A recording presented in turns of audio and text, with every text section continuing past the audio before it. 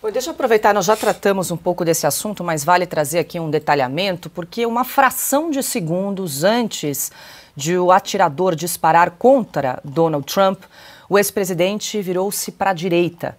Essa ação salvou a vida do republicano. O médico e deputado Ronnie Jackson, do Texas, afirmou que em uma conversa por telefone com Trump, o ex-presidente relatou que estava analisando um gráfico com estatísticas de migração posicionado à sua direita enquanto discursava. Segundo o deputado Segundo o deputado, Trump afirmou, aspas, a patrulha da fronteira salvou minha vida.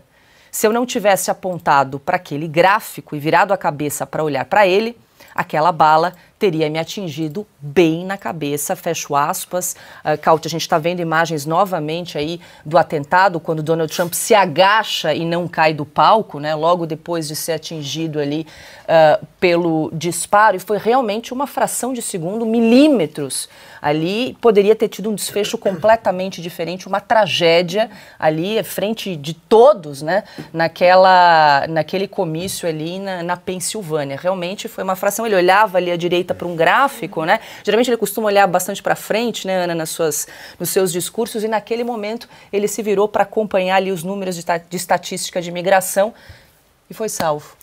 Pois é, né? Não sei se a gente pode usar a palavra sorte ou destino, que acredita também em Deus, né?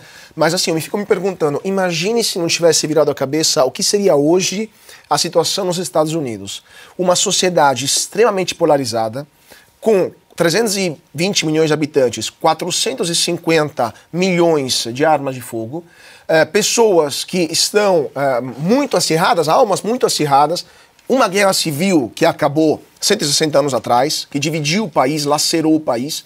Um país que teve, há dois anos atrás, manifestações, de quatro anos atrás, aliás, já, manifestações muito violentas nas rua, ruas, é, como Black Lives Matter, que devastou inteiras cidades nos Estados Unidos. Temos gangues muito bem armadas por lá, é, forças de segurança que foram é, demonetizadas, tiraram dinheiro delas por causa das pressões dos democratas, dessa turma woke. O que aconteceria hoje nos Estados Unidos, hoje, 24 horas, 48 horas depois desse atentado, se Trump tivesse morrido? Provavelmente um começo de guerra civil, ou pelo menos um tumulto muito violento. Né? É, mas além disso, o que aconteceria no mundo se Trump tivesse morrido?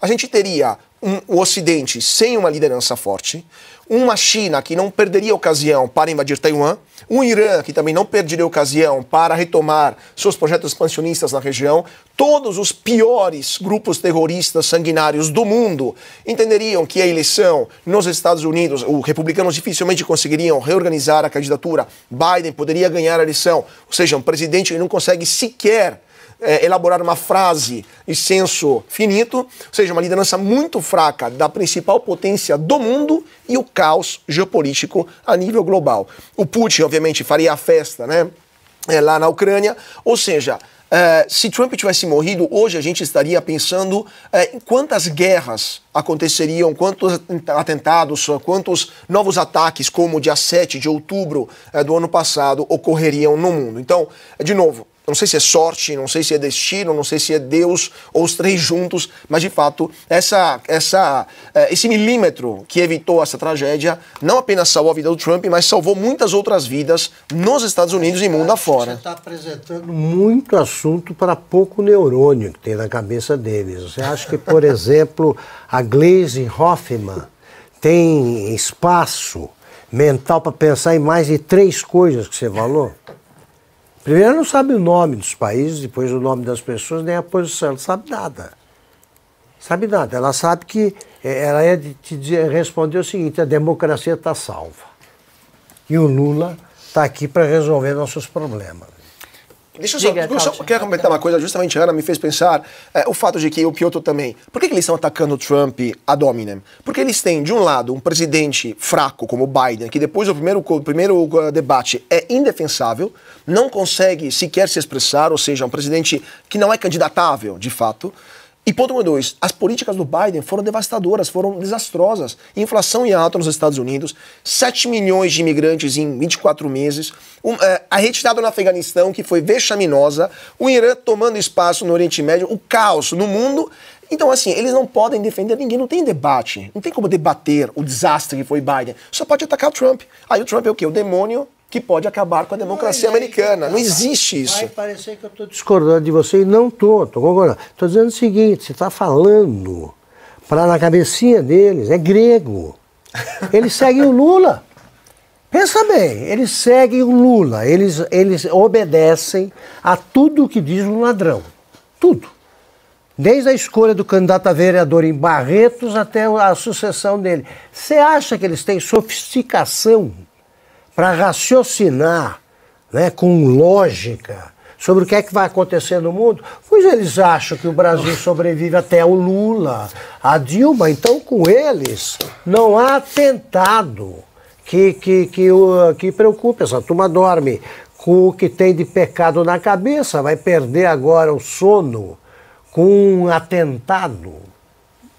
Essa é a coisa. O americano, como o Carlos estava falando, o americano ele vota muito no que muda a vida dele. Se é democrata, se é independente, se é republicano. Duas coisas. O americano não gosta, ele gosta da alternância de poder. Um presidente democrata, um republicano, já deu dois mandatos, vai para o outro e ele vota muito em políticas públicas. Então, se hoje Donald Trump representa a, as boas políticas para a nação americana, inclusive no tabuleiro da geopolítica, o americano vai votar no Donald Trump. Mesmo aquele democrata moderado vai votar escondidinho dentro do armário, vai lá e vai votar no Donald Trump. Eu tenho amigos democratas na Califórnia que votaram em Obama, não votaram na Hillary, votaram em Joe Biden e que esse ano estão falando: vou votar no Trump, sabe por quê? Porque eu estou perdendo dinheiro. A inflação está galopante. Eu estou perdendo dinheiro. Não tem como votar num presidente que está me fazendo perder dinheiro. Então ele falou: vou me esconder aqui no armário e vou apertar uh, o voto no republicano. Isso que o Augusto disse, né? As pessoas não idolatram, a grande maioria não fica idolatrando político. As pessoas idolatram políticas públicas que resolvem ou não a vida delas.